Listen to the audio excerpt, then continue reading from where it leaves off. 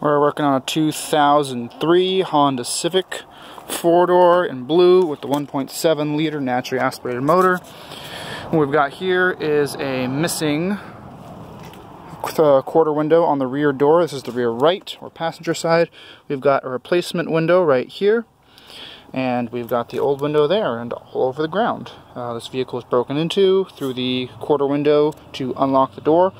Um, so we just got a generic replacement for this car off of eBay. This part was about $45. They range anywhere from 30 to about $70 depending on the condition of the glass. This one happened to come tinted, um, but the rest of the car is not tinted, so probably going to pull the tint off. So to start this process, you're going to want to uh, put the rear power window down, whichever side it is. We're going to work on the right side. Once it's down, come down here. Apologies. Once it's down, you then go in and remove the entire door panel. Door panel is affixed with a screw and two screws that hide behind the handle latch. They are under this little cover plate right here that has a little tab to pick it off right at the top. And there are the two black screws. Once you take those out, the handle cover will come off. You'll find this guy hooked up to the back of the handle with a plastic clip on it. That looks like that.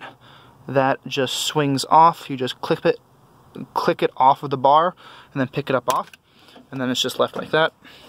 Once that's off, you come to the handle assembly. On this corner under here, you'll find a little hole and a clip. Inside of that hole, you want to push that in with a flathead screwdriver and pry this piece off. What I ended up having to do, because this has been pushed and bent so many times, um, it was kind of stuck. I took a very thin flathead screwdriver or trim tool and went along this edge here and pried it a little loose. Be careful as the bottom is a hook and has to be pulled out last. So I loosened it here, it popped it here, and I was able to remove it, take it all out as one piece.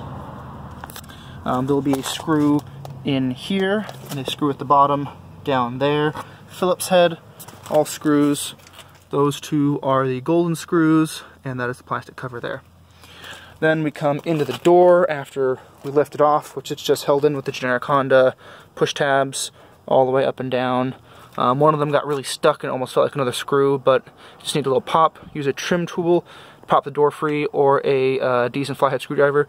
Be careful with flathead screwdrivers not to scratch any exposed paint or you will see those scratches and eventually they will rust. Um, usually you want to avoid scratching any paint, but if all you got is a flathead screwdriver, that's what you got. Uh, once it's popped free, it just lifts up off of the door. It's a little trim piece will sit in here and you want to bend it back and lift it up off of there. Um, and then that'll be off. You'll come down, once when your window's down, through this hole, there's going to be a bolt there, and through this hole, there's going to be a bolt there. They are the little golden ones over there. After you've done that, you're going to come to the track piece right here, which I have hanging right here.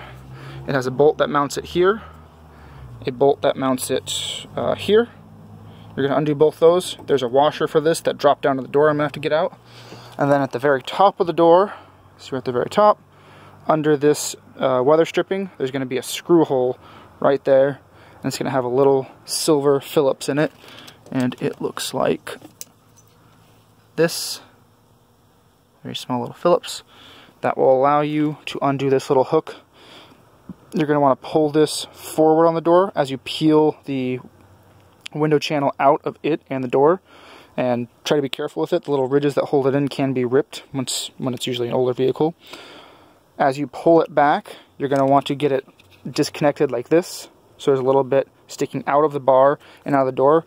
Once you do that, you're going to pull it up out of the door and watch out for the hook on the bottom. It will most likely get caught right there. You need to wiggle it around the window. Be very careful with the window as in this state it's not supported on one side now and can easily be pressed against things inside of the door, possibly crack the glass, which in this case would explode the glass. So once that's out, the trim piece for the window will just come right out. There's no glue, there's no sealant on these quarters windows that are indoors. They just set right in with the rubber seal. That piece will just come right out. It's stuck under this little trim piece. You just lift it up it comes right out. No need to pull this entire trim piece. You should be able to get it back in um, with just lifting one of the tabs because there are little little clips right there that hold it in. Just lift up off of that one. Once it's out, um, if there's any glass, usually there's going to be glass if you're doing this replacement, you need to clean this entire tray area out. I just had to wipe mine out because I don't have a vacuum handy, but after everything's back together before the door panel, I am going to have to vacuum out the bottom of the door to not get the shaky noise of glass all the time. Once that's out, you're going to take your new window, you're going to set it in, go in from the left side, or in this case on the right side, you're going to come in from the left side. You're going to slide it in to catch it under this track right here, and you're going to keep this up and back, and it's going to catch the little metal edge of the window, as this piece right here is a metal track. It's going to catch that. You're going to get it lined up, seated, clip this down, and then you're just going to reverse install from this bar. Make sure when you put this in, your window channel is still in there when it goes down and hasn't moved. Once you get it down enough, you're going to line these two pieces of channel back up and start sitting them back into the window, the window bracket and into the door bracket here. And then once you get it down there, you're going to put your bolt back in the bottom. You're going to make sure it's all nice and aligned up here and put the bolt in on the top. And then once it's set up on top, you're going to come put that silver screw back in. Uh, do verify that you've aligned the window into the channel correctly before you do anything past here. You're going to need to go turn the key, do the window operation. The window will not work without this switch hooked up. So you will need to plug that back into the door. Once you've verified the window still goes up and down as it's supposed to, um, you're going to basically reverse order everything else.